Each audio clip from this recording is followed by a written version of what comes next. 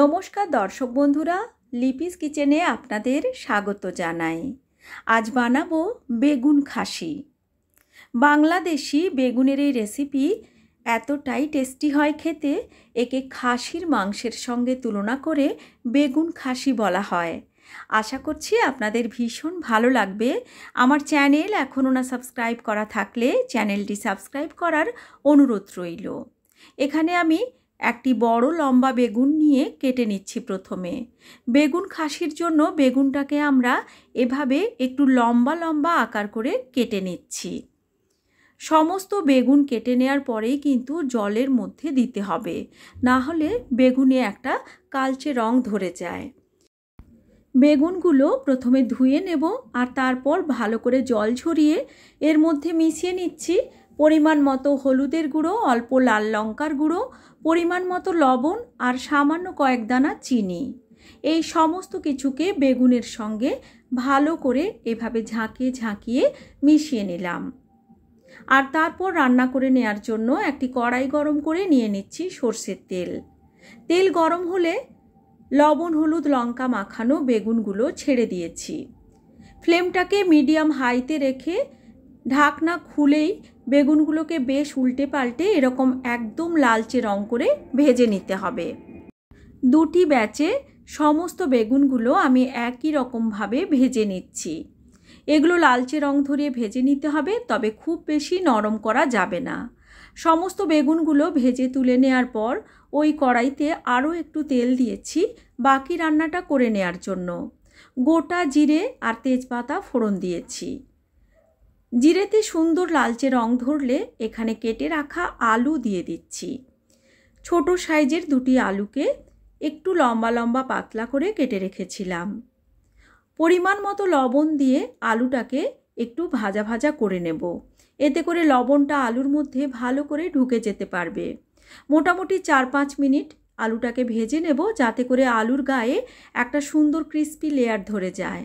আর তারপর এখানে আমি দিয়ে দিচ্ছি এক চামচ রসুন বাটা। রসুনটা দিয়ে লো ফ্লেমে একটু নাড়াচাড়া করে কষিয়ে নেব।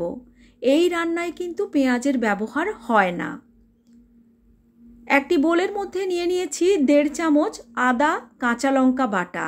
নিয়ে নিলাম এক চামচ কাশ্মীরি লাল লঙ্কার গুঁড়ো, প্রায় দেড় চামচ নিলাম ধনে গুঁড়ো, এক চামচের একটু কম নিলাম জিরে গুঁড়ো। এখানে নিচ্ছি ওয়ান ফোর টিস্পুনের মতো হলুদ গুঁড়ো, নিলাম অল্প একটু গোলমরিচের গুঁড়ো আর নিচ্ছি এক চামচের একটু বেশি মিট মশলা। যদি আপনাদের কাছে মিট মশলা থাকে তাহলেই দেবেন, না থাকলে এটা ছাড়াও বানানো যাবে। মিট মশলা দিলে কিন্তু সুন্দর একটা ফ্লেভার হয়, তাই আমি দিয়ে থাকি। জল দিয়ে খুব ভালো করে মশলার এই মিশ্রণটাকে তৈরি করে নিলাম। রসুন ভালো করে লো ফ্লেমে দু তিন মিনিট কষিয়ে নেওয়ার পর মশলার এই মিশ্রণ এখানে যোগ করে দিলাম। এই রান্নাতে পেঁয়াজ দেয়া হয় না, তবে এই মশলাগুলো দেওয়ার পর খুব ভালো করে কষিয়ে নিতে হবে। মশলার বাটি ধুয়ে অল্প পরিমাণ জল দিলাম। সময় নিয়ে মিডিয়াম লো ফ্লেমে মশলাটাকে এখন ভালো করে কষিয়ে নেব ততক্ষণ। যতক্ষণ না মশলাতে একটা সুন্দর ঘন রং ধরে যাচ্ছে আর মশলার জলীয় অংশটা শুকিয়ে গিয়ে তেল ছেড়ে বের হয়ে আসছে। দেখতেই পাচ্ছেন, অনবরত কষানোর ফলে রান্নাতে সুন্দর একটা ঘন রং ধরে গেছে আর তেলটাও সুন্দরভাবে ছেড়ে বেরিয়ে এসেছে। মশলাটাকে কিন্তু এভাবেই বেশ ভালো করে কষিয়ে নিতে হবে। আর তারপর এখানে যোগ করে দিচ্ছি টমেটো বাটা। বড় সাইজের একটি টমেটোকে আমি এখানে বেটে যোগ করেছি। চেষ্টা করবেন টমেটোটাকে এভাবে বেটে যোগ করতে, এতে করে গ্রেভিটা সুন্দর তৈরি হয়। টমেটো দেওয়ার পর দিয়ে দিলাম পরিমাণ মতো লবণ আর দিলাম সামান্য কয়েক দানা চিনি টেস্টটাকে জাস্ট ব্যালেন্স করার জন্য। তারপর ঢাকা দিয়ে লো ফ্লেমে দু মিনিট মতো রান্না করে নেব। ঢাকনা খুলে দিলাম দু মিনিট পর। এবার আবারও একটু নাড়াচাড়া করে নিচ্ছি। ঢাকা দিয়ে রান্না করার জন্য দেখুন আলুটা সুন্দর সুসেদ্ধ হয়ে গেছে। এখন এখানে আমি দেড় কাপ মতো উষ্ণ জল দিয়ে দিলাম। জলটা দেওয়ার পর ভালো করে মিশিয়ে নিলাম প্রথমে। এখন ফ্লেমটাকে একদম হাই করে ঝোলটাকে ফুটতে দেব। ঝোল ভালো করে ফুটে গেলে এখানে আমি হাফ টিস্পুনেরও কম যোগ করে দিলাম গরম মশলার পাউডার। আর তারপর এখানে ভেজে রাখা সমস্ত বেগুনগুলো দিয়ে দিলাম।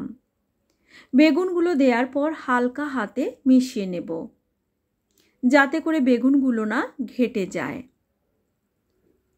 মিডিয়াম ফ্লেমে বেগুনগুলো ঝোলের সঙ্গে এভাবে ভালো করে হালকা হাতে নাড়াচাড়া করে মিশিয়ে নিলাম। এবার ফ্লেমটাকে লোতে দিয়ে খোলা অবস্থায় রান্না করে নেব। ঢাকা দিয়ে রান্না করব না। দিয়ে দিলাম চারটে চেরা কাঁচা লঙ্কা, সুন্দর একটা ঝাল ফ্লেভারের জন্য। দেখুন, মিনিট চারেক রান্না হয়ে গেছে আর তাতে করেই গ্রেভিটা সুন্দর ঘন হয়ে গেছে। এবার ফ্লেমটাকে অফ করে ঢাকা দিয়ে চার পাঁচ মিনিট রেখে দিয়েছিলাম স্ট্যান্ডিং টাইম দিয়ে। দেখুন, কতটা লোভনীয় দেখতে হয়েছে, খেতেও কিন্তু দুর্দান্ত হয়। আশা করছি আমার আজকের এই বেগুনের রেসিপিটি আপনাদের খুব ভালো লেগেছে। ভালো লাগলে লাইক, শেয়ার ও কমেন্ট করার অনুরোধ রইল। আজকের মতো এই পর্যন্তই। আবার হাজির হব নতুন কোনো রেসিপি নিয়ে। সবাই ভালো থাকবেন। Thanks for watching.